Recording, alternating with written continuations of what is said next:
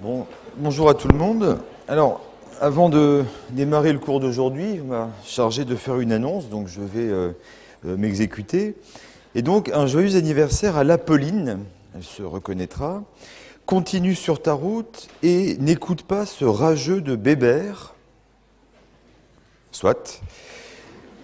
Au passage, arrête de t'empiffrer de gâteaux en amphi.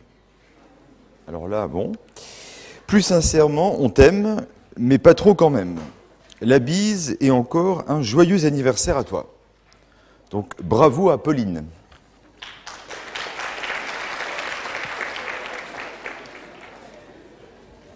Alors il vous a été euh, possible d'entendre euh, cette annonce faite par un de vos euh, collègues concernant l'anniversaire de la dite Pauline. Et par conséquent, je vais vous expliquer aujourd'hui quelles sont les bases anatomiques des systèmes qui vous ont permis d'entendre cette annonce. Nous allons donc, vous verrez le sens de la transition qui est quand même assez remarquable. Et donc, nous allons euh, étudier aujourd'hui l'appareil de l'audition.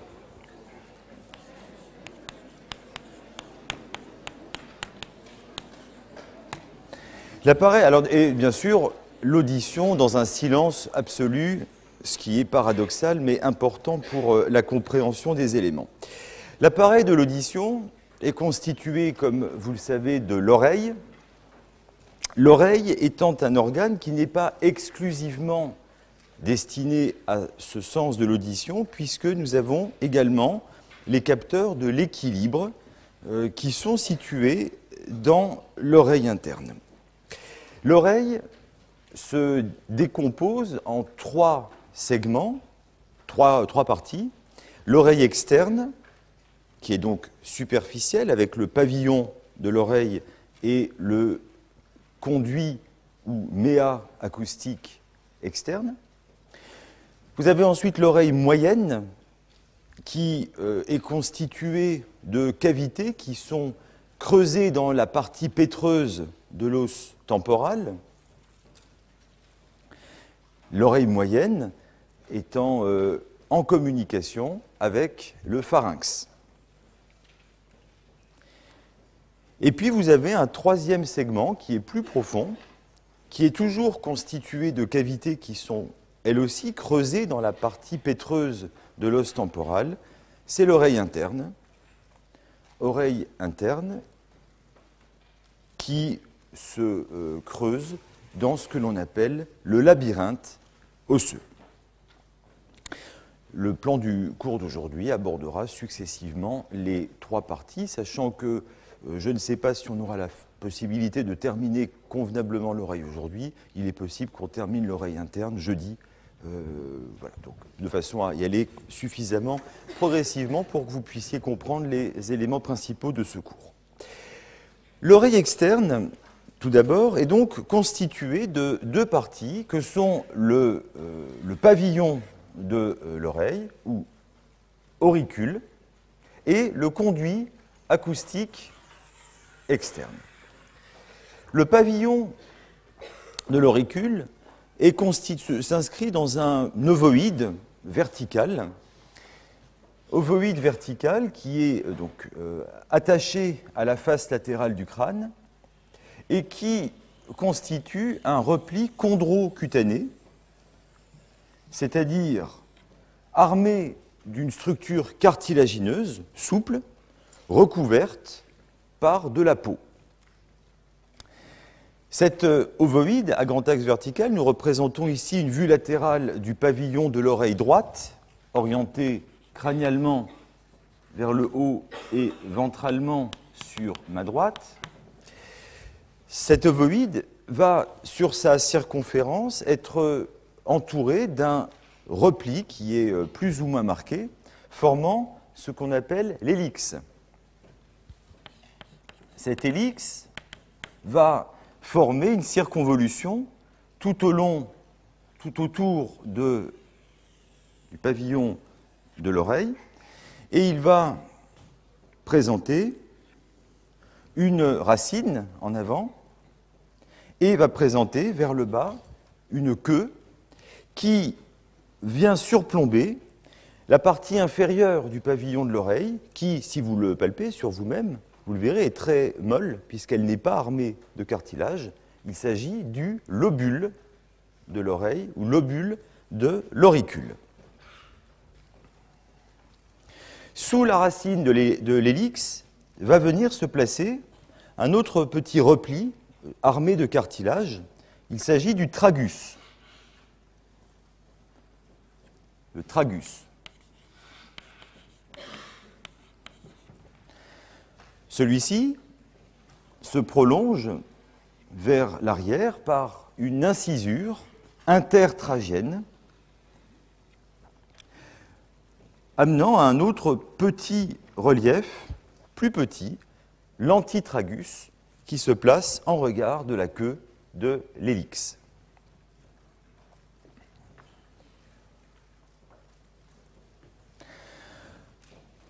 En dedans de l'hélix, à la face latérale du pavillon de l'oreille, va apparaître un relief plus ou moins marqué, formant l'antélix, l'antélix,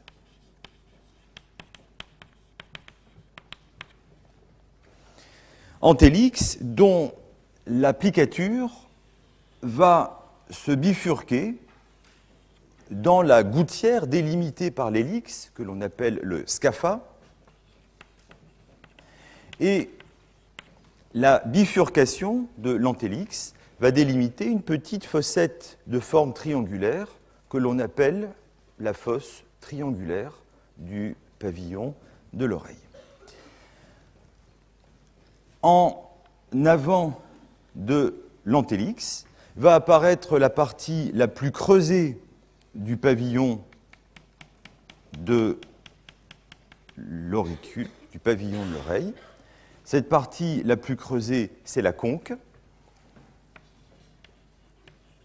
conque de l'auricule, conque qui va d'ailleurs être traversée par la croisée par la, racine euh, de euh, l'hélix et qui, juste en arrière du tragus, va présenter un orifice. C'est le point d'entrée du conduit acoustique externe, et ce point d'entrée du conduit acoustique externe porte le nom de port, P-O-R-E, s'il vous plaît, acoustique externe.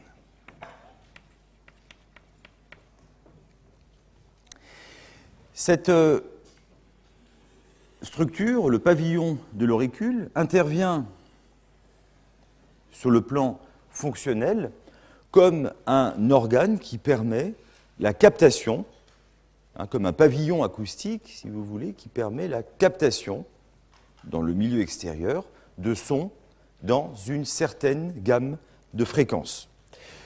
Il existe quelques muscles possiers qui sont annexés à ce pavillon de l'auricule. Ils sont très atrophiés dans l'espèce humaine, mais chez la plupart des euh, mammifères en particulier, ces muscles sont plus développés, permettant, vous avez euh, certainement tous déjà observé des animaux de compagnie, euh, tels que des chats ou des chiens, et vous avez remarqué leur capacité à orienter leur pavillon de l'auricule. Certains parmi nous gardent d'ailleurs cette capacité, certains ont la possibilité d'avoir une certaine mobilité au niveau de ce pavillon.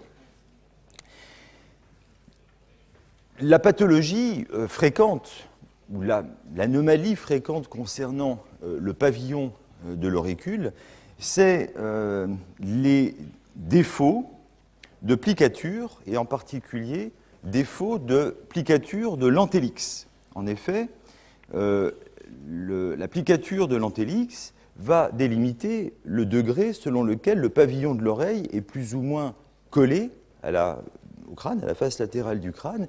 Et lorsque l'antélix apparaît peu marqué, c'est-à-dire lorsque le scapha est très plat, eh bien ça a pour effet, vous pouvez le tester sur vous-même, de décoller le pavillon de l'oreille. C'est ce qu'on appelle en, chirurgie ORL ou chirurgie plastique, les oreilles décollées ou oreilles proéminentes. Hein.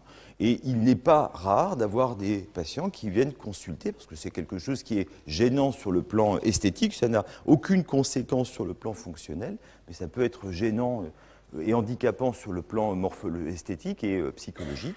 Et donc, la chirurgie qui consiste à corriger ces oreilles décollées, eh bien, consiste à recréer une plicature de l'antélix en affaiblissant le cartilage par l'arrière et en le pliant pour recréer ce relief euh, anatomique euh, naturel.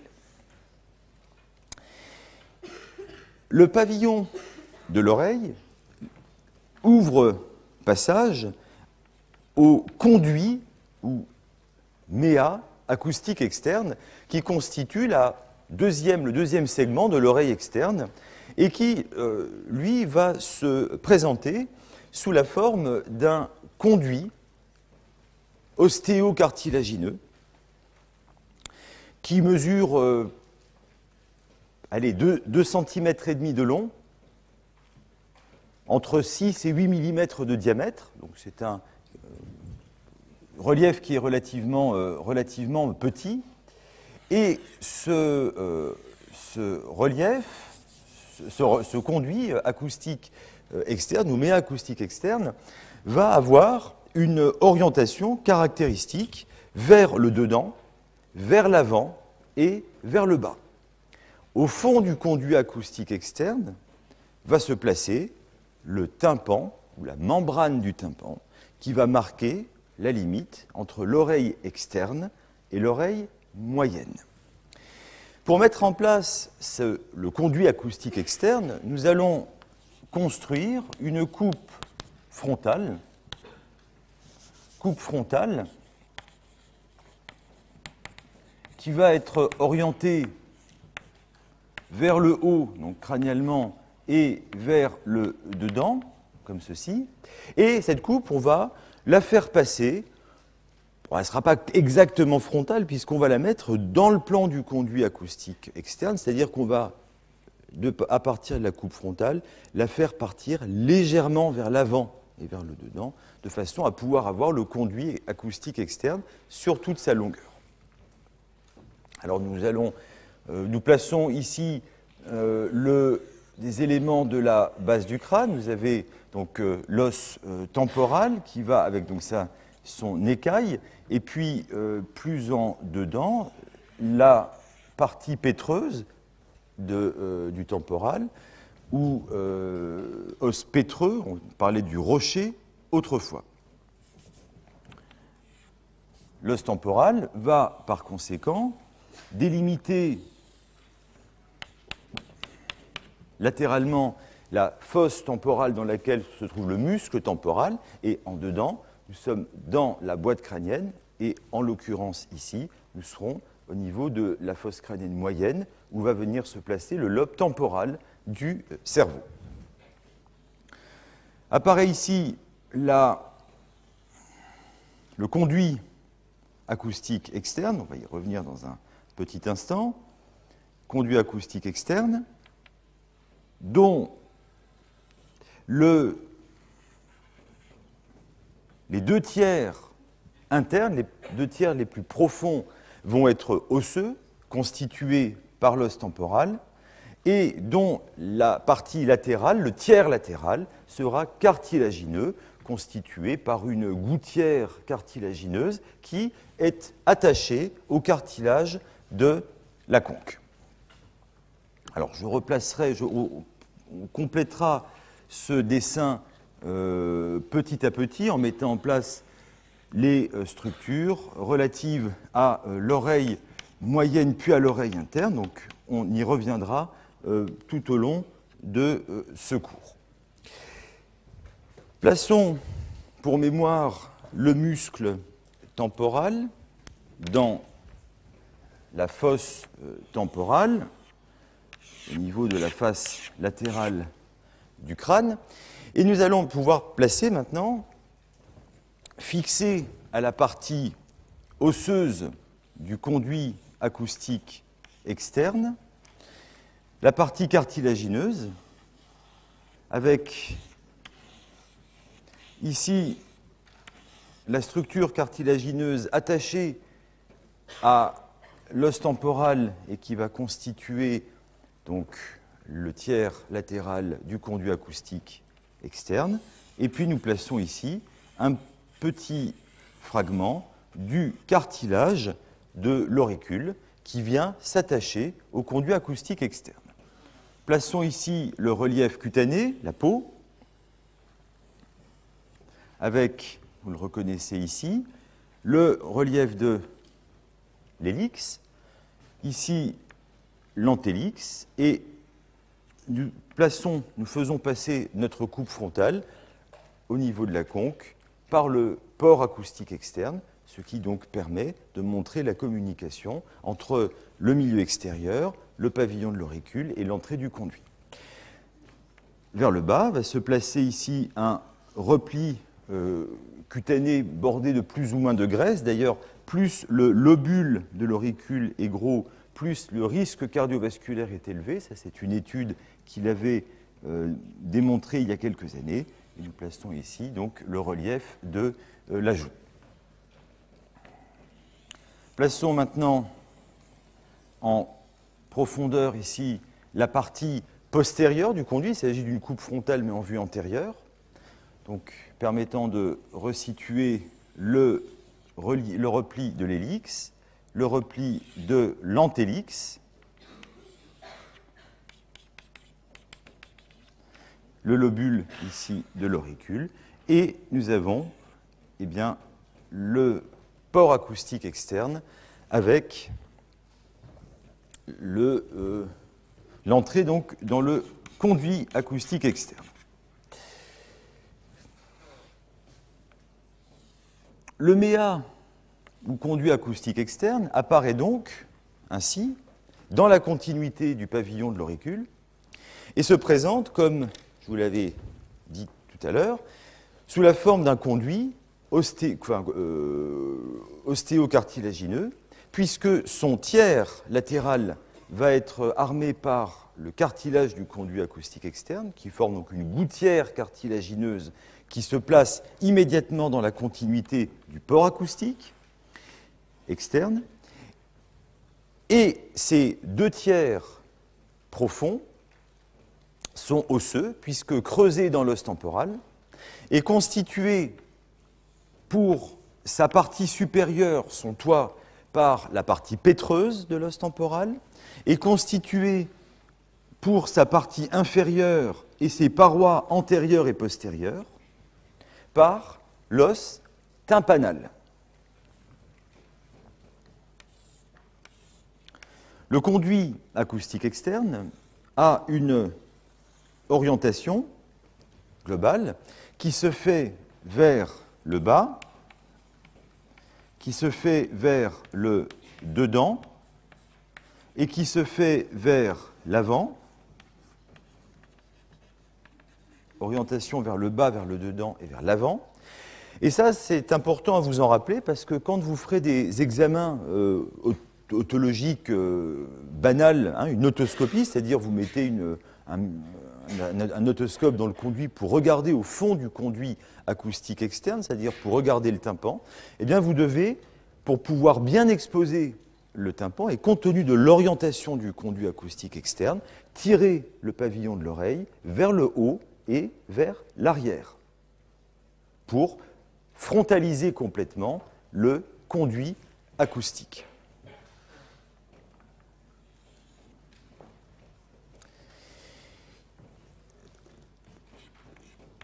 Ce conduit acoustique externe est recouvert de peau.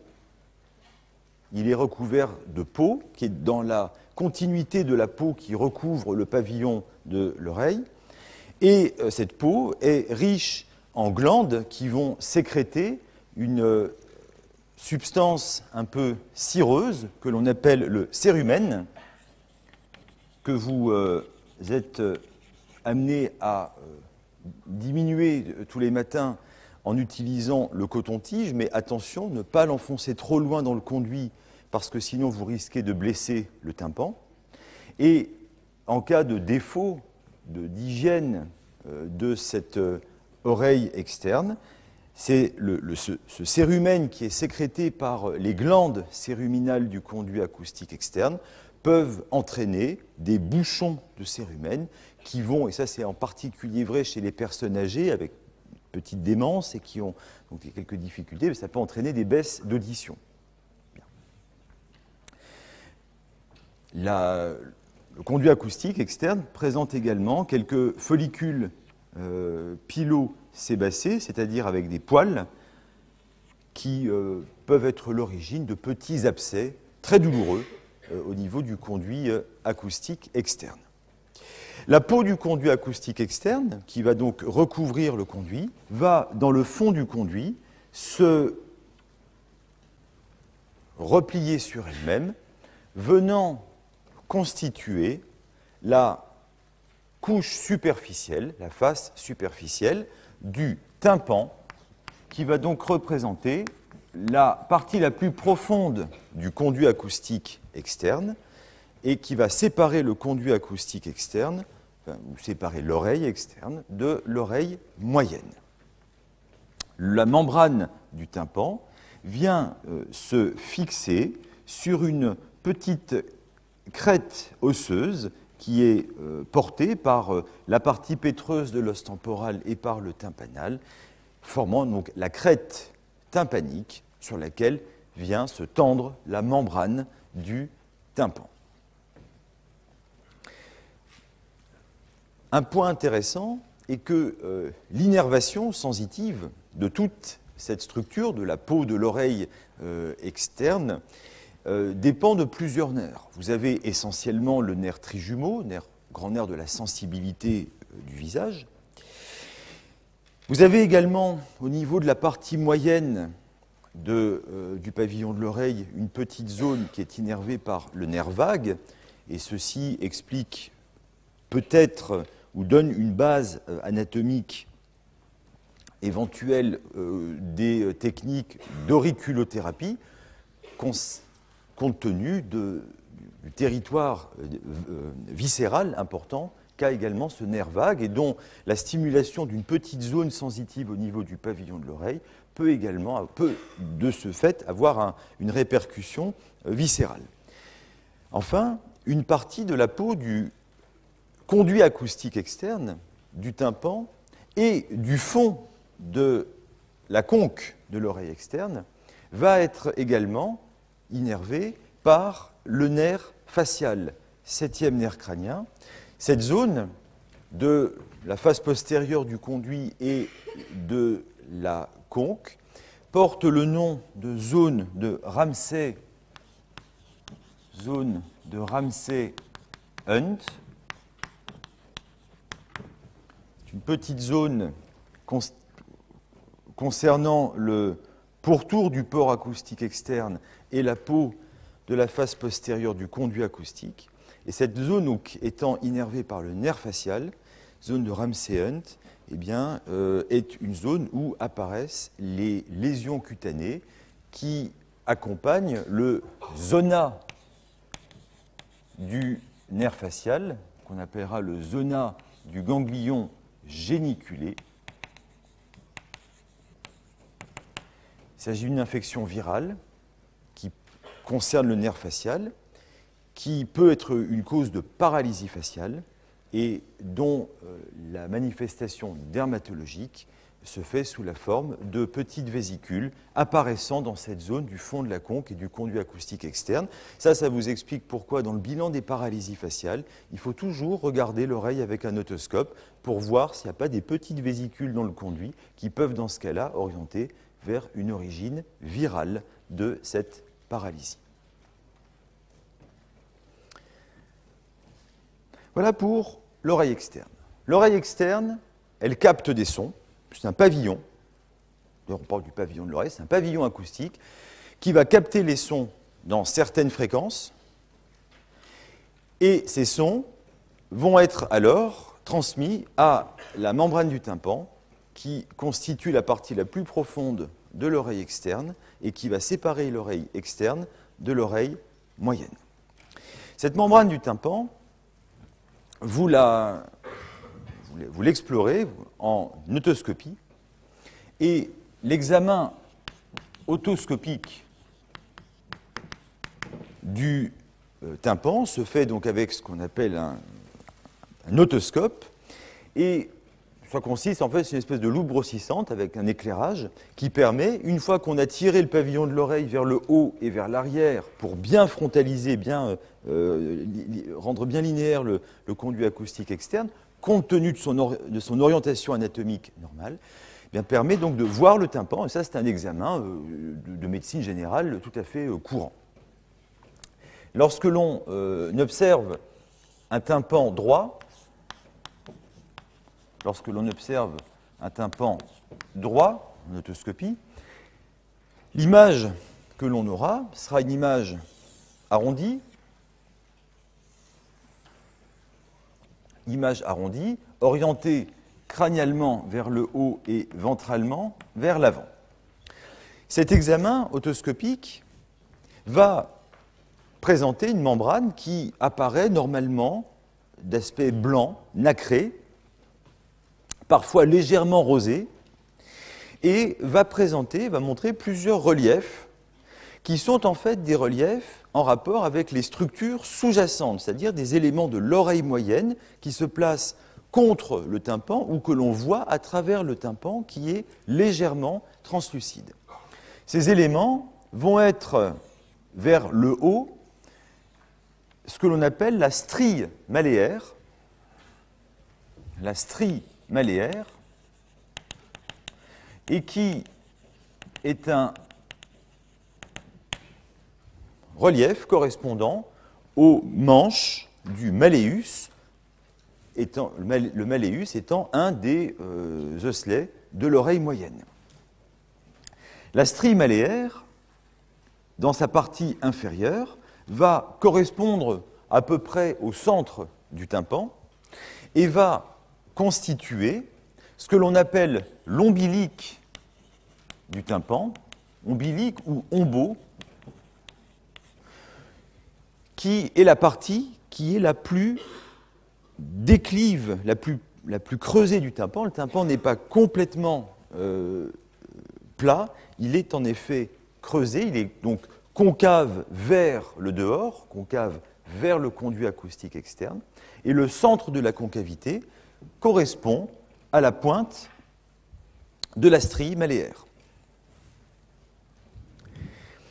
À la partie haute de la strie maléaire, en fait du relief du manche du maléus qui est enchâssé dans le tympan, à partir du haut de la strie maléaire vont apparaître deux replis qui sont les plis maléaires. Ce sont des replis de la membrane du tympan, plis maléaires antérieurs et plis maléaires postérieurs. Plis maléaires antérieurs en avant, postérieurs en arrière.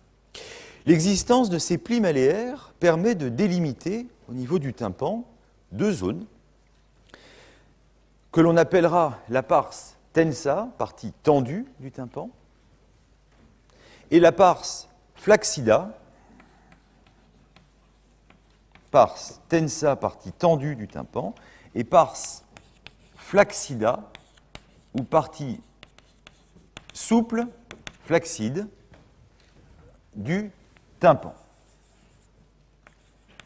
La partie tendue, la pars tensa du tympan, se situe en dessous des plis maléaires.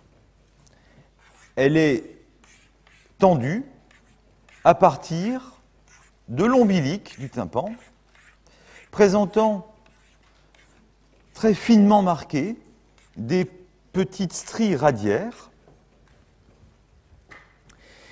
venant réfléchir la lumière de l'otoscope, puisque je vous rappelle que cette vision, cette vue du tympan est une vue otoscopique, elle nécessite donc un éclairage, parce que sans lumière, on n'y voit rien. Et la lumière de l'otoscope va, compte tenu de la morphologie du tympan, être projetée plus particulièrement au niveau du cadran inféro, enfin, antéro-inférieur du tympan, formant ce que Politzer, un ERL, avait défini comme le triangle lumineux.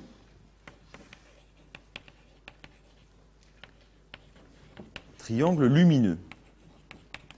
Triangle lumineux, donc, qui n'est bien sûr pas une structure naturelle, c'est un, artefact lié à l'examen clinique du tympan. Mais rappelez-vous que le triangle lumineux décrit par Politzer, je vais quand même écrire son nom puisque je l'ai cité, encore une fois, les noms propres ne sont en aucun cas à connaître, ça c'est pour votre culture et parce que les cliniciens vont vous en parler après, donc malheureusement on est obligé quand même de citer quelques noms propres, mais le triangle lumineux regarde toujours vers le bas et vers l'avant. Ce qui vous permet d'orienter un tympan. Tympan droit ou tympan gauche.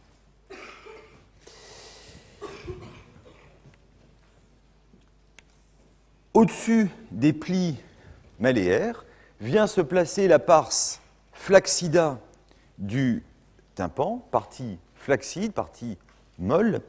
Alors pourquoi est-ce qu'il y a une différence entre la parse tensa et la, partie, euh, et la parse flaccida Eh bien tout simplement parce que le tympan se constitue sur un plan histologique de la superposition de plusieurs couches. Vous avez à l'extérieur la peau, la peau du conduit acoustique externe.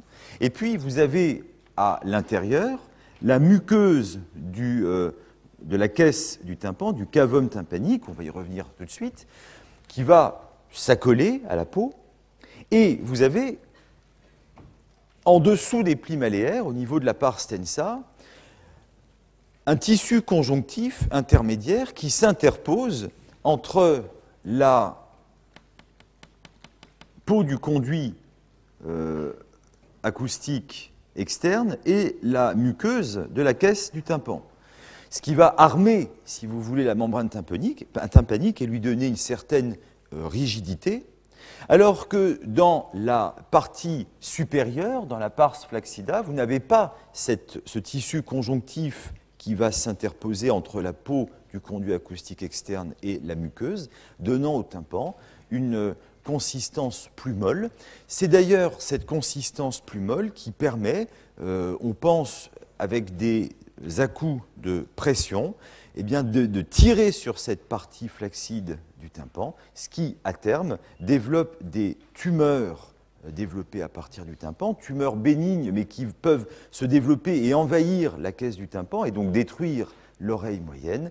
Euh, et D'où l'intérêt de, euh, comprendre, de, se rappeler eh bien, euh, la différence de constitution entre ces deux parties du euh, tympan. Ces tumeurs de la partie supérieure du tympan, qui se développent spécifiquement à partir de la, de la pars flaccida, portent le nom de cholestéatome.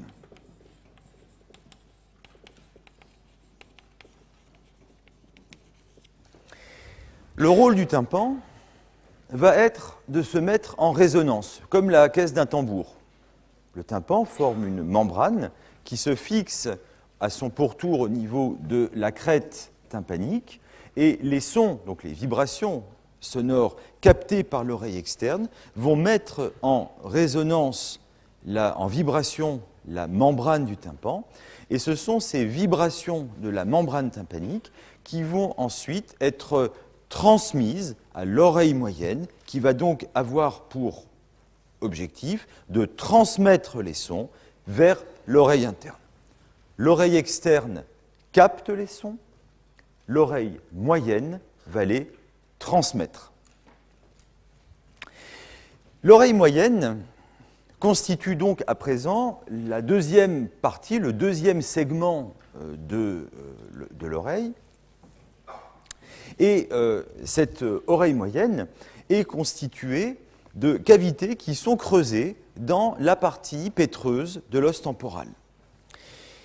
L'oreille moyenne va euh, être constituée de trois parties. Vous avez une partie centrale, une partie principale, puisque c'est celle où on va trouver les petits osselets, les petits ossicules de Louis. Alors Louis est l'apostrophe oui, hein, pas Louis le prénom, bien évidemment.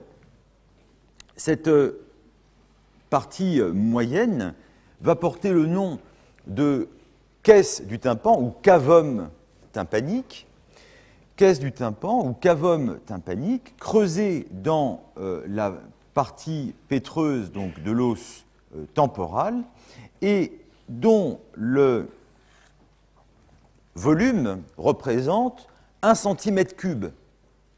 Alors, je dessine une oreille de, diplodocus, là. Hein. c'est tout petit. Mais la chirurgie, parce que c'est l'oreille moyenne, notamment la caisse du tympan, est une structure qui s'opère sous microscope, et la chirurgie de l'oreille moyenne est une chirurgie qui est d'une grande complexité, parce que d'une grande finesse euh, anatomique, et les ORL euh, parlent pour désigner cette, ce cavum tympanique, cette caisse du tympan, du centimètre cube où on se perd. Et effectivement, il y a de quoi se perdre dans cette structure.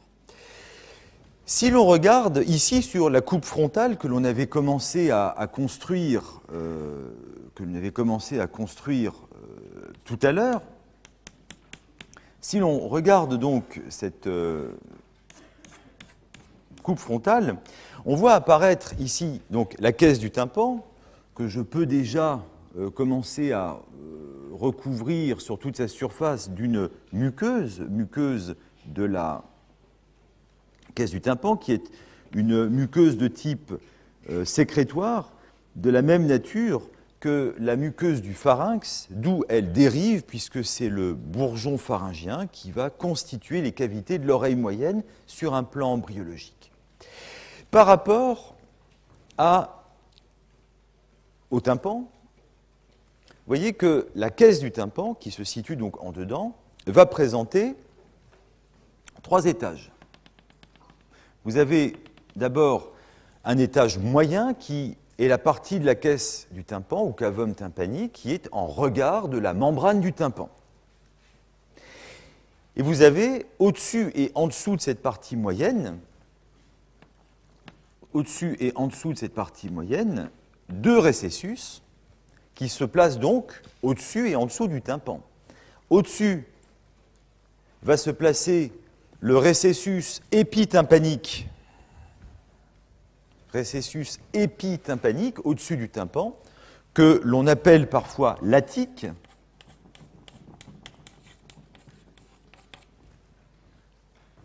Et puis vous avez en dessous un récessus inférieur, le récessus hypotympanique, qui est d'ailleurs l'endroit électivement où vont se placer les collections liquidiennes dans les otites moyennes chroniques, puisque par euh, le principe de la gravité, Newton, les liquides se placent en bas.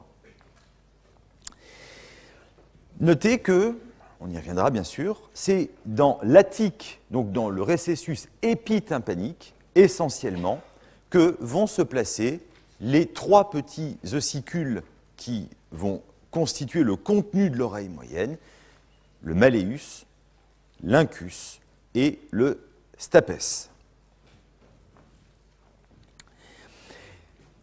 La caisse du tympan, cavum tympani, constitue la partie moyenne, la plus importante finalement fonctionnellement de la caisse du tympan, enfin de, de l'oreille moyenne, pardon, et cet euh, élément va être en communication vers l'avant avec le pharynx par l'intermédiaire de la trompe auditive et en arrière, le cavum tympanique va être en communication avec des cavités qui creusent le processus mastoïde de l'os temporal. Ce sont les cavités mastoïdiennes. Donc, trompe auditive, cavum tympanique et cavité mastoïdienne représentent les trois parties de l'oreille moyenne. Et ces trois parties, nous allons pouvoir à présent les construire en mettant en place une coupe sagittale, en fait sagittale qui va suivre le grand axe de la pyramide pétreuse. C'est-à-dire que cette coupe, elle va passer comme ceci, mais elle ne va pas être strictement euh, sagittale par rapport au sujet en position anatomique, mais elle va être un petit peu orientée vers le dedans, suivant le grand axe de la pyramide pétreuse. Cette coupe, nous allons donc la mettre euh, en place ici, va nous permettre de présenter les trois composants de l'oreille moyenne, trompe auditive, cavum tympanique et cavité mastoïdienne. L'orientation se fera crânialement vers le haut, ventralement sur ma droite. Et nous allons donc placer dans un premier temps, ici, là, le plancher de l'étage moyen de la base du crâne. Plancher de l'étage moyen de la base du crâne, qui va constituer le toit de la caisse du tympan et qui va séparer en réalité l'oreille moyenne du lobe temporal du cerveau. Vers euh, le bas, on va placer des éléments qui sont en rapport avec la base du crâne, la partie exocrânienne de la base du crâne.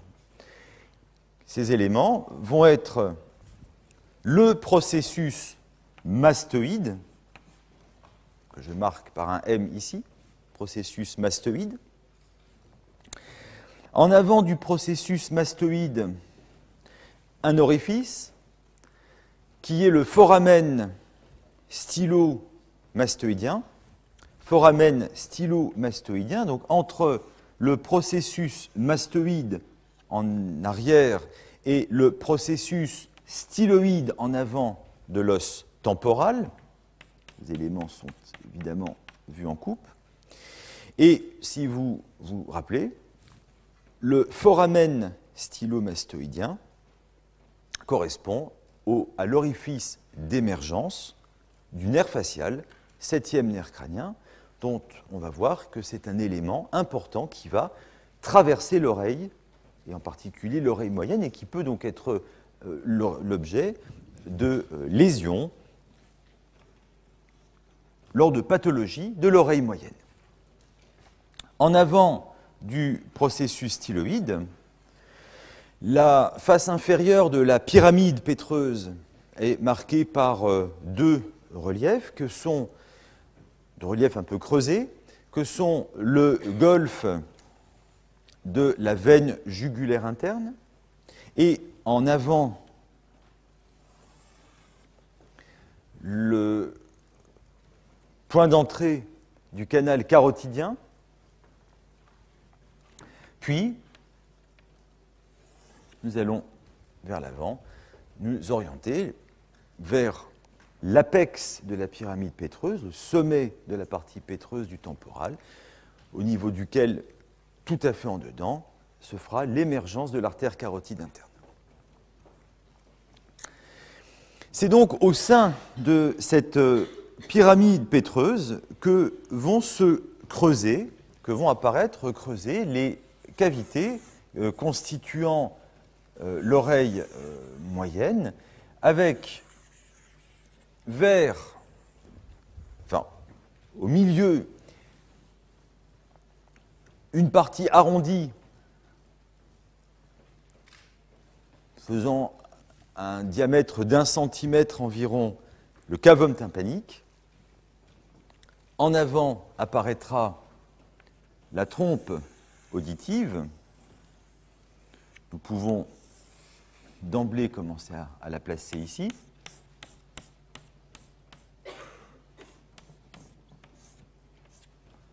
La trompe auditive. Et vers l'arrière, l'ouverture vers les cavités mastoïdiennes.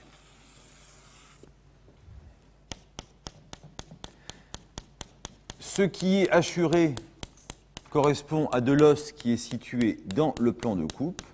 Ce qui ne l'est pas correspondra donc à des structures ouvertes, cavitaires, qui sont normalement remplies d'air, puisque l'oreille externe est une structure qui respire, et elle respire en communication avec l'air du pharynx par l'intermédiaire de la trompe auditive que l'on appelait autrefois la trompe d'Eustache.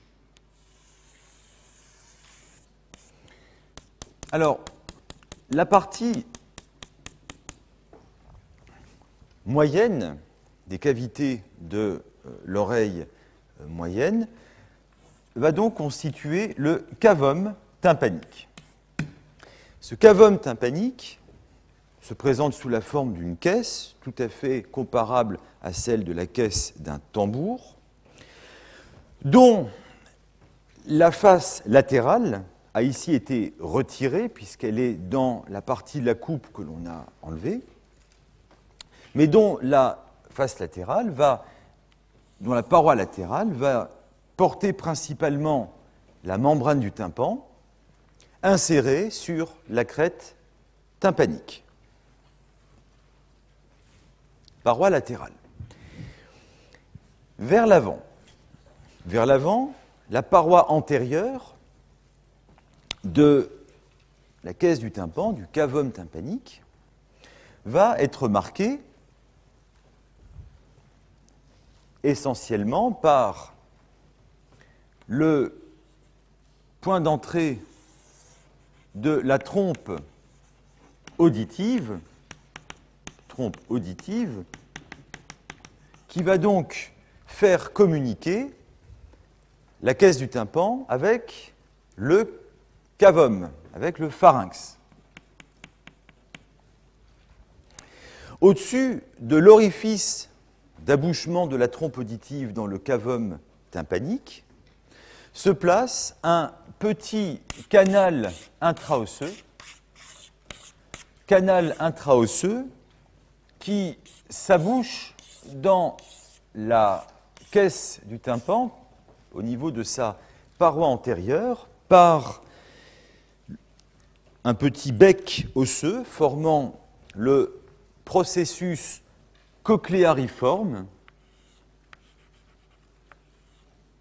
processus cochléariforme, qui est représenté ici, là et là, processus cochléariforme, livrant passage au tendon du muscle tenseur du tympan, muscle tenseur du tympan, innervé par le nerf mandibulaire, 5, 3, et ce muscle tenseur du tympan, on va le revoir, va être un muscle impliqué dans euh, l'augmentation de la sensibilité de l'oreille moyenne à la captation de sons de faible intensité. Quand vous vous concentrez pour entendre un son de faible intensité, en fait, vous mobilisez, vous sollicitez ce petit muscle, le muscle tenseur du tympan.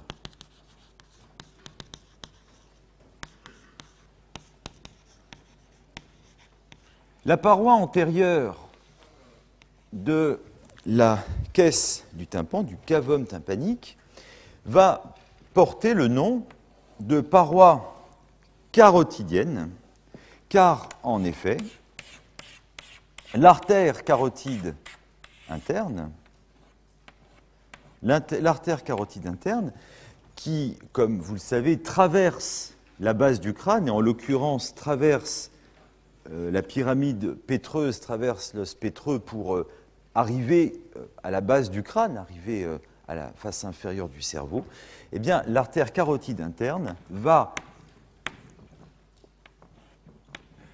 traverser la, bon, je ne continue pas plus loin, va traverser la base du crâne en passant en avant de la paroi antérieure de la caisse du tympan. Alors, une application, c'est que quand vous faites un effort un peu poussé, vous avez une petite poussée d'hypertension, vous allez sentir des battements pulsatiles qui se traduisent sous la forme de petits sifflements que vous percevez au niveau de l'oreille.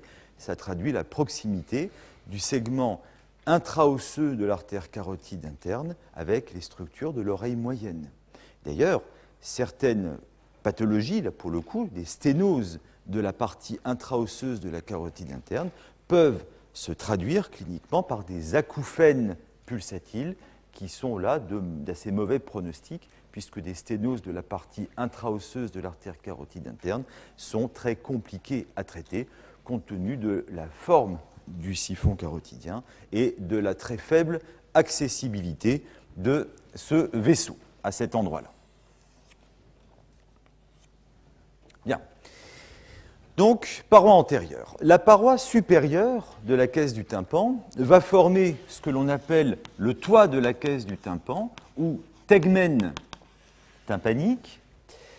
Et cette paroi est relativement euh, mince, recouverte au-dessus par la dure-mère de l'étage moyen de la base du crâne, et ensuite donc par le lobe temporal. Alors il faut vous rappeler de ça parce que des abcès de l'oreille moyenne, ce qu'on appelle des otites moyennes euh, purulentes, ces abcès peuvent parfois diffuser en intracrânien et donner des abcès qui se situeront sous le lobe temporal. C'est ce que l'on appelle un empyème cérébral.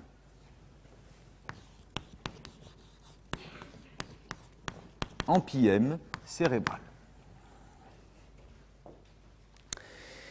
La paroi inférieure de la caisse du tympan, ou du cavum tympanique, correspond à la paroi dite jugulaire, puisqu'elle va répondre au golfe avec un E à la fin, hein, le golfe sans E étant un sport qui n'a rien à voir avec le sujet du jour. Golfe de la veine jugulaire interne qui marque en réalité son empreinte contre euh, la face inférieure de la pyramide pétreuse et euh, d'ailleurs parfois le golfe de la veine jugulaire interne est euh, particulièrement volumineux, forme des ectasies veineuses, variation du normal, mais qui peuvent, et j'en ai vu une récemment, j'avais montré à mon collègue Marie, qui est le patron de l'ORL, parce qu'on avait quasiment sur un scanner pour une traumato euh, quelconque, je ne sais plus ce que c'était de la face, mais ça n'avait rien à voir, mais on avait une espèce d'énorme veine qui était en fait le, bouton de la jugulaire interne, qui, était qui a envahissait complètement, en fait, qui occupait complètement l'espace de la caisse du tympan. Et ça, ça arrive, c'est relativement rare, mais ça existe.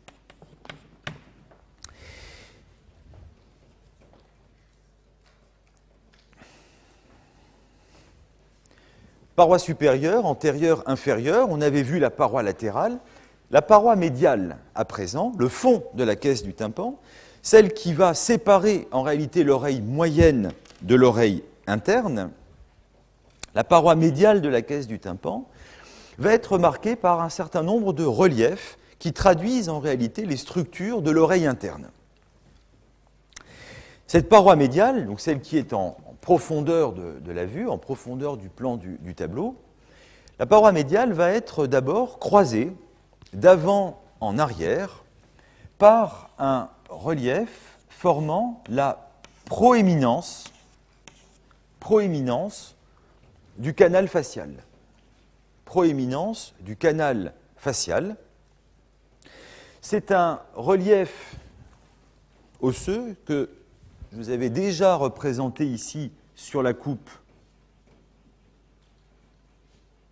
frontale, ici la proéminence du canal facial, relief qui est marqué à la paroi médiale du cavum tympanique par le passage de la deuxième portion intracrânienne, intraosseuse, du nerf facial.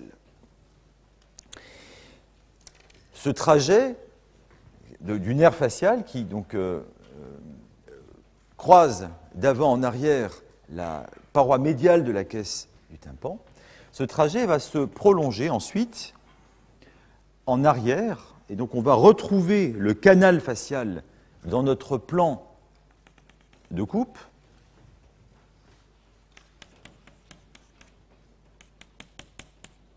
Ici, va se prolonger par la troisième portion du nerf facial, et donc on va pouvoir placer le nerf facial dans son euh, canal, ici, nerf facial. Troisième portion qui va permettre ensuite au nerf facial eh bien, euh, d'émerger de la base du crâne au foramen stylo-mastoïdien, où il va se placer un tout petit instant, comme on l'avait déjà vu dans l'espace rétrostylien, avant de traverser le diaphragme stylien et rentrer dans la parotide. Alors, le fait que le nerf facial, deuxième nerf crânien, euh, septième nerf crânien, pardon, traverse la deuxième, dans sa deuxième portion, la, croise la caisse du tympan, dans un canal osseux, mais parfois il n'est même pas recouvert d'os, il peut traverser à nu, simplement recouvert par la muqueuse euh, de la caisse du tympan, traverser cet espace, explique sa vulnérabilité dans certaines pathologies de l'oreille moyenne et en particulier dans des otites, des otites suppurées, avec des abcès de l'oreille moyenne qui peuvent léser le nerf facial et entraîner une paralysie faciale.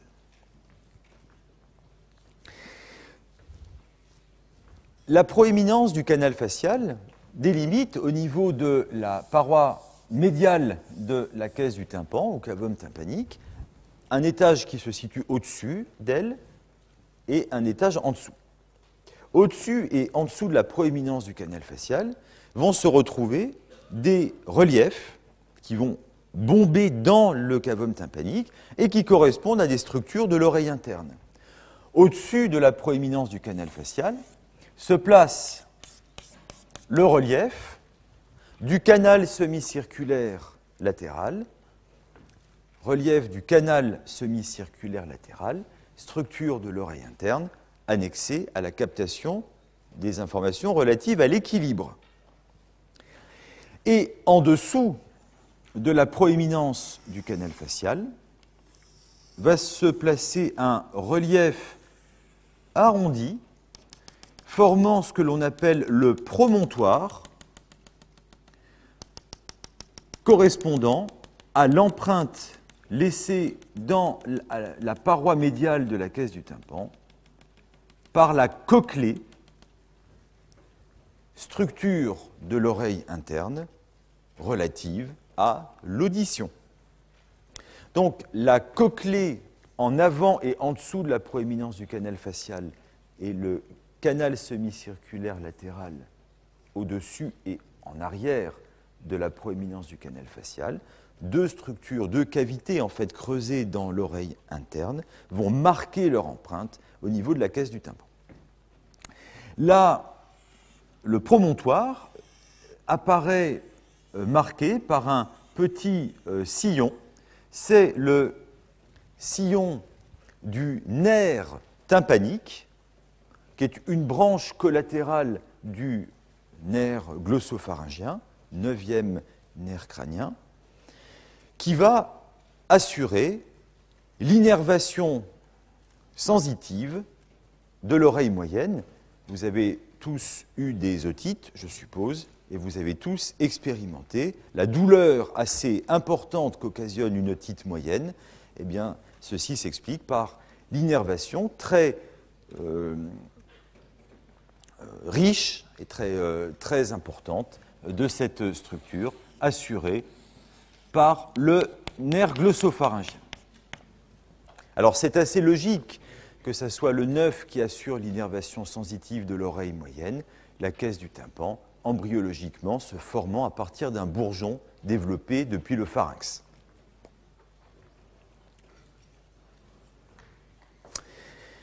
Reste à décrire la paroi postérieure, paroi postérieure de la caisse du tympan, qui présente plusieurs petits euh, reliefs.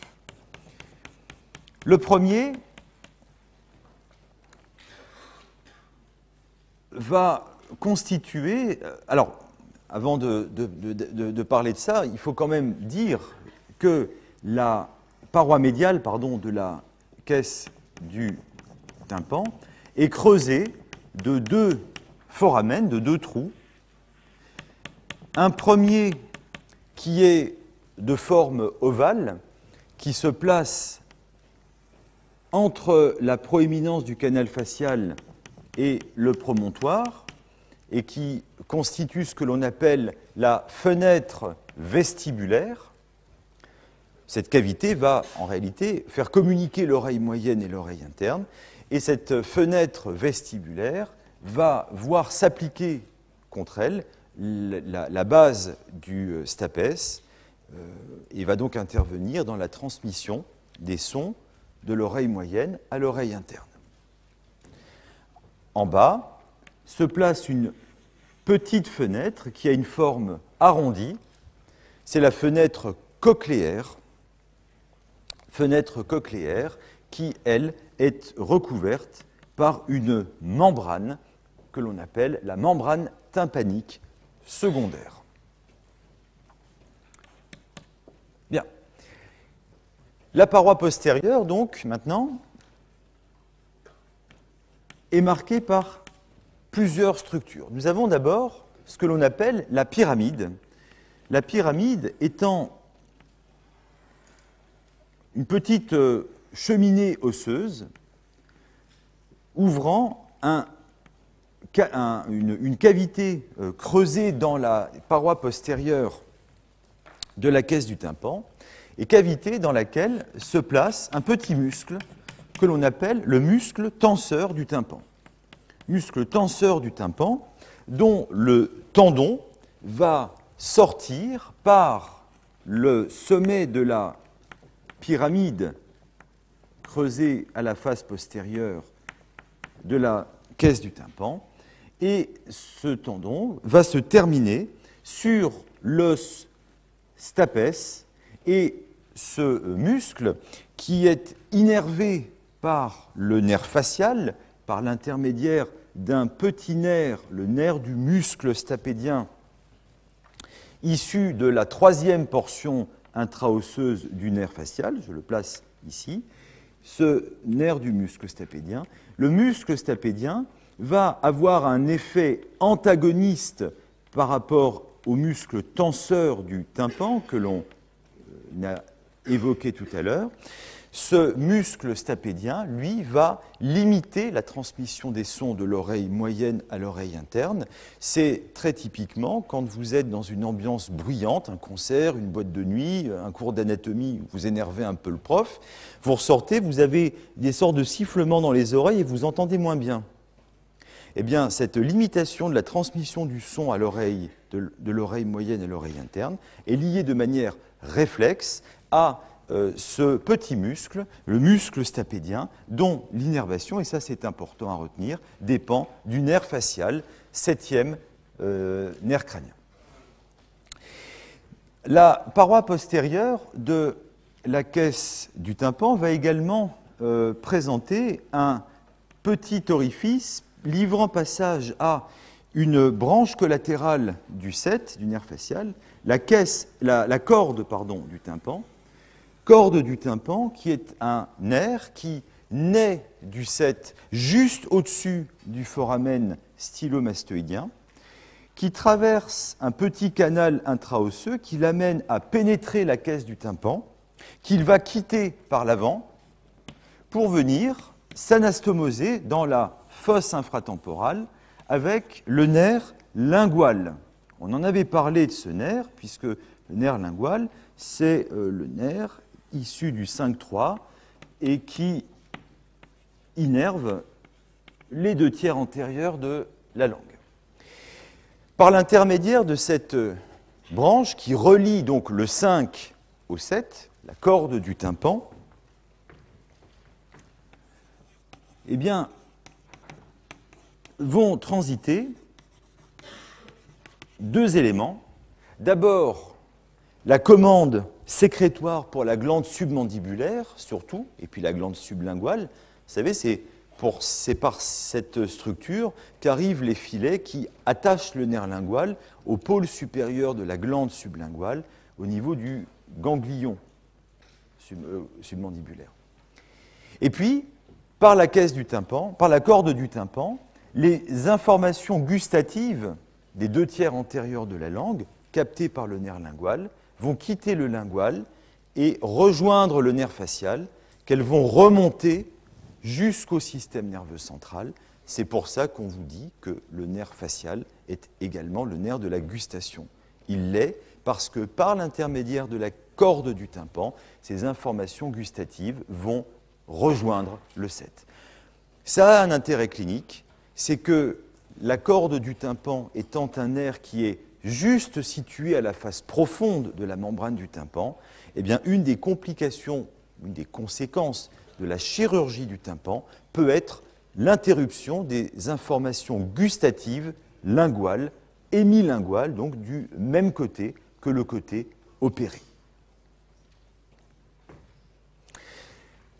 Enfin, en arrière, donc à la face postérieure de la, du cavum tympanique, et au-dessus de ces structures vont s'ouvrir les cavités tympaniques. Les, euh, cavités mastoïdiennes. les cavités mastoïdiennes sont des cavités aériennes qui sont euh, creusées au sein de la partie pétreuse de l'os temporal, au sein du processus euh, mastoïde. Ces cavités mastoïdiennes sont au nombre, sont euh, divisées en trois, euh, trois parties. Vous avez d'abord le point d'entrée dans les cavités mastoïdiennes, ici, que l'on va désigner par le terme d'aditus ad antrum c'est l'ouverture, aditus, vers l'entremastoïdien. Aditus, qui nous amène à une partie, donc ici, donc l'aditus, ici une partie assez ouverte des cavités mastoïdiennes, que l'on désigne par le terme d'entre-mastoïdien, qui va ensuite se s'arboriser en de très nombreuses et d'ailleurs très variables petites cellules qui sont toutes en communication avec l'entremastoïdien et l'aditus adentrum. Ce sont les cellules mastoïdiennes. Cellules mastoïdiennes.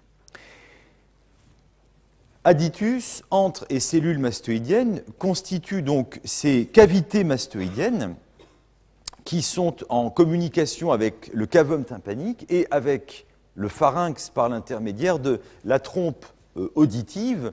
Et ceci euh, explique la base anatomique d'infection de ces cavités mastoïdiennes qui sont donc liées le plus souvent à un trouble de la ventilation de ces cellules mastoïdiennes. C'est ce que l'on appelle les mastoïdites. Une mastoïdite étant une infection qui se traduit par une rougeur et un œdème euh, rétro-auriculaire, le processus mastoïde venant se placer en arrière euh, euh, du pavillon de l'oreille. Voilà donc les trois segments qui vont constituer l'oreille moyenne. Trompe auditive en avant qui ouvre la qui fait communiquer l'oreille moyenne avec euh, le pharynx et qui donc permet de faire un équilibrage de pression entre l'oreille moyenne et l'oreille externe euh, que vous expérimentez notamment quand vous prenez l'avion et que vous prenez de l'altitude, vos oreilles se bouchent et vous devez faire ce que l'on appelle la manœuvre de Valsalva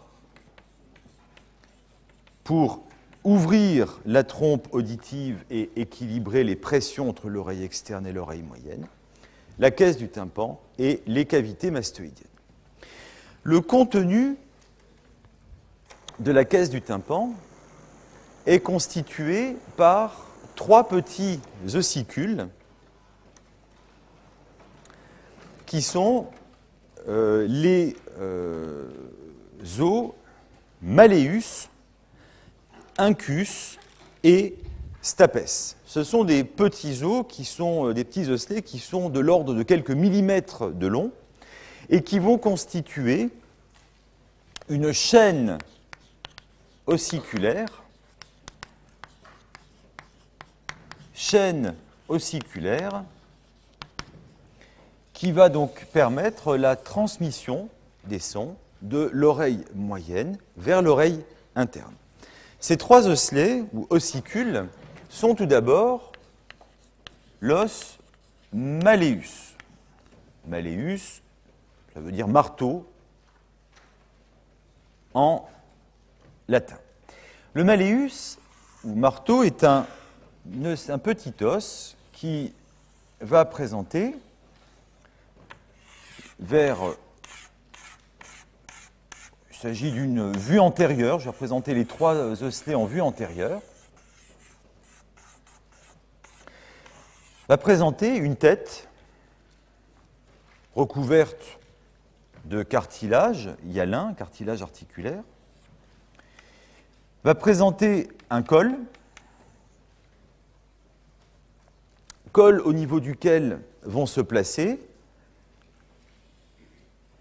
un processus latéral, un processus antérieur, donc ce sont des petites pointes osseuses, des petites spicules osseuses, et le col se prolonge vers le bas par le manche du malleus, manche du malleus qui vient s'enchasser dans la membrane du tympan, formant la strie malléaire. L'extrémité inférieure du manche du malleus marquera la partie la plus creusée de la membrane du tympan ou ombilique. Le malleus va répondre au deuxième os de l'oreille, formant ce qu'on appelle l'incus. Incus qui va présenter un corps avec une facette articulaire, facette articulaire légèrement creusée, répondant à la tête du malleus et le corps du de l'incus, va présenter deux processus osseux que l'on va appeler les branches de l'incus. Vous avez, et partant vers l'arrière, la branche courte qui va en fait permettre ces processus, hein, latéral, antérieur et le manche du malleus, ou la branche courte ici de l'incus, en fait donne insertion à des petits ligaments qui vont suspendre les ossicules de euh, l'ouïe dans le récessus épitympanique. Et vous avez, partant vers le bas, une branche longue, branche longue qui va se terminer par un processus lenticulaire recouvert de cartilage hyalin, processus lenticulaire recouvert de cartilage hyalin, et venant donner, venant s'articuler avec le troisième ossicule de Louis, qui est le stapes, l'étrier dans l'ancienne nomenclature, qui présente une tête avec une petite facette articulaire creuse répondant au processus lenticulaire de l'incus, présentant ensuite un corps, présentant deux branches, une branche postérieure et une branche antérieure, venant se fixer sur la base du stapes, formant une platine qui se place dans la fenêtre vestibulaire marquée à la paroi médiale de la caisse du tympan. Malleus, incus et stapes. Alors ces os sont articulés par des petites articulations de type synovial qui très souvent à l'âge adulte, se fusionnent, se synostosent, entraînant une rigidification de la chaîne ossiculaire, dont l'objectif est de se mettre en mouvement à la suite des euh, vibrations de la membrane du tympan ces mouvements de la chaîne ossiculaire étant transmis à la fenêtre vestibulaire où euh, ces euh, informations vont être intégrées par l'oreille interne. La chaîne ossiculaire va se placer donc pour l'essentiel dans le récessus épitympanique et pour euh, la comprendre et comprendre son fonctionnement et sa modulation, on va placer une vue supérieure schématique, vue supérieure de la, du cavum tympanique, orientée vers l'avant, enfin ventralement vers le haut, latéralement sur ma droite, et vue que l'on fera après avoir retiré le tegmen tympani, donc retiré le toit de la caisse du tympan. Cette vue euh, supérieure, nous allons la faire passer par euh, le par la fenêtre vestibulaire. Nous allons la faire passer par la fenêtre vestibulaire. Voici donc la paroi médiale de la caisse du tympan et donc la fenêtre vestibulaire. Vers l'avant se place, vous le reconnaissez ici, le processus cochléariforme, dans lequel, ou par l'intermédiaire duquel, les, fibres tendineuses du muscle tenseur du tympan vont pénétrer dans le cavum tympanique. Nous le plaçons là, nous allons le faire dans un instant, arriver à sa terminaison, c'est-à-dire le euh, manche du maléus. On placera en avant ici la paroi antérieure de la caisse du tympan et euh, ici l'arrivée, le, fond du conduit euh, acoustique externe. On peut d'ailleurs placer ici complètement le conduit acoustique externe qui va nous permettre donc de figurer la membrane du tympan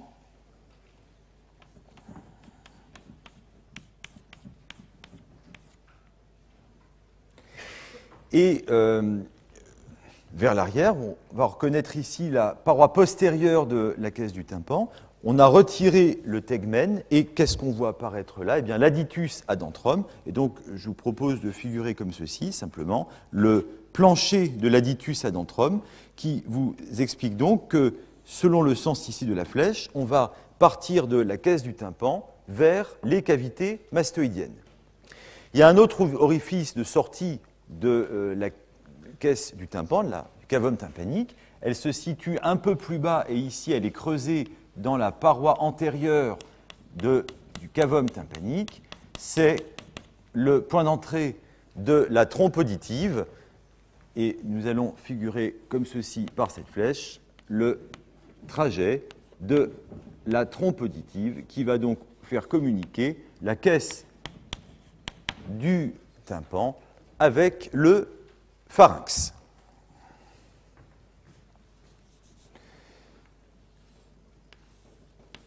Plaçons à présent les ossicules les ossicules tels qu'ils euh, vont apparaître en vue supérieure.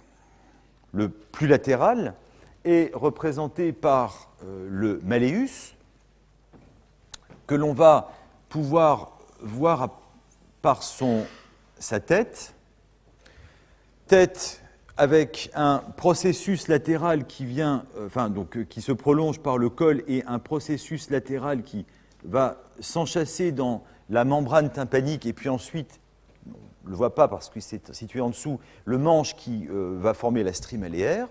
Et nous avons vers l'avant, ici, le processus antérieur.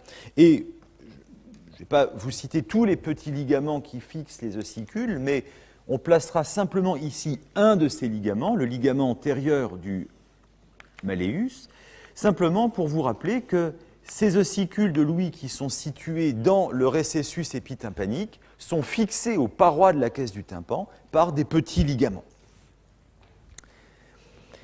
L'incus se place en arrière et en dedans et il euh, s'articule avec la tête du maléus par une articulation incudo-maléaire. Voilà. Il présente ensuite un corps avec deux, euh, euh, reliefs. Vous avez deux branches, une branche courte qui part vers l'arrière et qui va répondre à la paroi postérieure de la caisse du tympan par une, elle marque son empreinte par une petite fossette et elle est reliée, enfin est, euh, cette branche courte est reliée à la paroi postérieure de la caisse, là aussi par un petit ligament, ligament postérieur de l'incus, qui euh, permet la stabilité de la chaîne ossiculaire. Et vous avez vers euh, le bas le processus long de l'incus, branche longue de l'incus, qui va euh, s'articuler avec la tête du stapes, dont nous voyons ici le corps, le processus antérieur et le processus postérieur, se fixant ici sur la platine, sur la base du euh, stapes, base du stapes qui se place dans la fenêtre du vestibule et qui est d'ailleurs attaché au bord de la fenêtre du vestibule, du vestibule pardon, par un ligament radié. Bien. Donc, trois petits ossicules qui vont constituer la chaîne ossiculaire. Cette chaîne ossiculaire est mise en mouvement lorsque l'oreille externe qui a capté un son va transmettre ce son, enfin, va faire vibrer la membrane du tympan aux fréquences sonores captées par l'oreille externe. Ces ondulations de la membrane du tympan vont mettre en mouvement les ossicules de l'ouïe, le maléus, l'incus, puis le stapes, dont la base va être animée d'ondulations qui vont convertir les ondes aériennes captées par l'oreille externe en ondes qui vont, euh, mécaniques qui vont être transmises au milieu liquidien de l'oreille interne par l'intermédiaire de la, de, la, de la, fenêtre du vestibule. Et ça, l'oreille interne, le fonctionnement, je vous l'expliquerai euh, jeudi. Alors ce système de transmission est modulé, on l'a vu, par deux petits muscles. Ces muscles sont le muscle tenseur du tympan, qui est un élément de la paroi antérieure de la caisse du tympan, et dont le tendon va émerger au niveau du processus cochléariforme et se porter ensuite vers l'arrière, comme ceci, pour venir se fixer au niveau du manche, enfin, au niveau du col, ici, du maléus. Et donc, lorsque ce tendon du muscle tenseur du tympan, qui est innervé par le nerf mandibulaire, lorsque ce muscle se contracte, il va entraîner une rigidification de la chaîne ossiculaire, ce qui va rendre le système tympan, chaîne ossiculaire, fenêtre du vestibule plus sensible à des sons d'intensité plus faible. C'est ce qui vous permet de tendre l'oreille et de capter des sons d'intensité faible, selon un mécanisme qui est semi-automatique. A contrario, un muscle un peu antagoniste, c'est le muscle stapédien, on l'a vu. C'est un muscle qui euh, donc a une origine intraosseuse dans euh, la paroi postérieure de la caisse du tympan, ce qu'on appelle euh, ce que les cliniciens appellent le mur de gelée, peu importe, et ce tendon va alors émerger par la pyramide et se porter, je le figure comme ça simplement en pointillé, il va se porter vers l'avant pour venir se fixer au niveau du corps du stapès. Et lorsque ce muscle stapédien, innervé par le nerf facial, se contracte, il va limiter les oscillations de la platine du stapès dans la fenêtre du vestibule, puisque quand il se contracte, il va tirer, donc il va empêcher le stapès d'onduler, il va donc bloquer la transmission des sons de l'oreille moyenne à l'oreille interne. Et ce muscle stapédien est à l'origine de ce que l'on appelle le réflexe, réflexe stapédien, réflexe qui est un mécanisme de protection de l'oreille interne vis-à-vis des sons de haute fréquence ou de haute intensité pour éliminer les blessures irréversibles de l'organe spiral, l'organe euh, sensitif, sensoriel, qui permet de capter les sons et de les transformer, cette fois-ci, en un euh, influx électrique qui va être transmis vers les centres nerveux.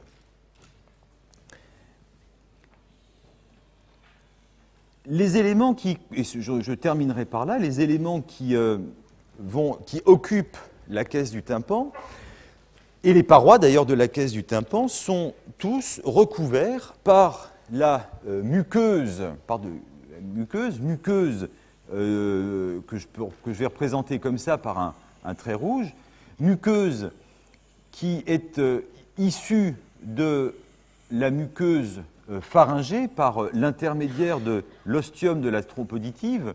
Cette euh, muqueuse du cavum tympanique va venir constituer la face profonde de la membrane tympanique, soit directement au niveau de la partie flaccide, pars flaccida du tympan, soit avec interposition d'un tissu conjonctif par, au niveau de la part stensa du tympan.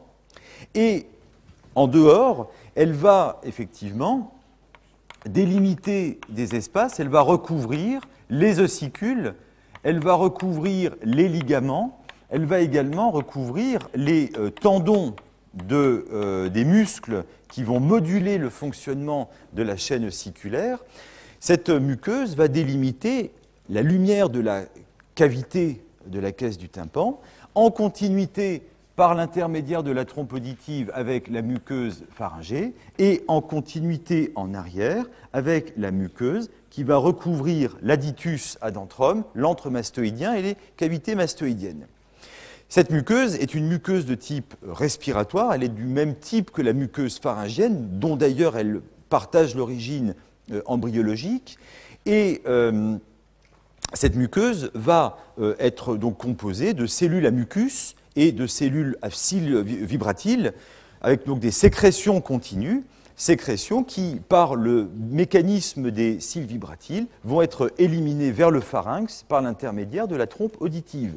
Ça, ça explique plusieurs choses. En cas de trouble de la perméabilité de la trompe, ces euh, sécrétions muqueuses vont pouvoir euh, s'accumuler dans la cavité tympanique et donner ce que l'on appelle des otites chroniques, des otites moyennes chroniques, séromuqueuses, avec l'impression d'oreilles pleines, parfois un petit bruit euh, quand vous penchez la tête et surtout une baisse de l'acuité auditive, une baisse de l'audition.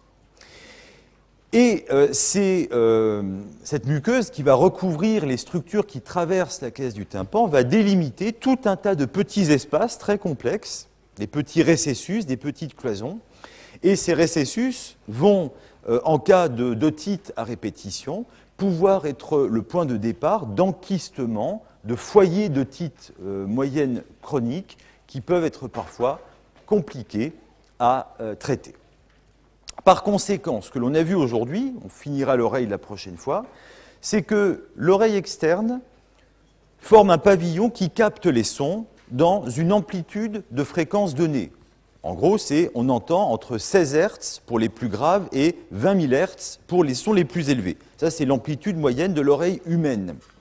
Ces sons vont être captés par l'oreille externe et amenés dans le fond du conduit acoustique externe au niveau du tympan, où les sons aériens vont être convertis euh, en une vibration de la chaîne ossiculaire, permettant donc à l'oreille moyenne de transmettre les sons de l'oreille moyenne vers l'oreille interne, où ces sons seront convertis en un signal nerveux pour être intégrés. Ce qui signifie donc que les altérations de l'audition liées à des pathologies rarement de l'oreille externe, parfois des sténoses, mais surtout de l'oreille moyenne, se traduisent par des surdités dites de transmission, surdité de transmission, puisque l'oreille moyenne transmet les sons, et ces surdités de transmission peuvent être euh, traitées par un certain nombre de dispositifs, vous en avez tous vu, dispositifs intra-auriculaires, qui permettent donc de pallier à ces altérations de la transmission des sons.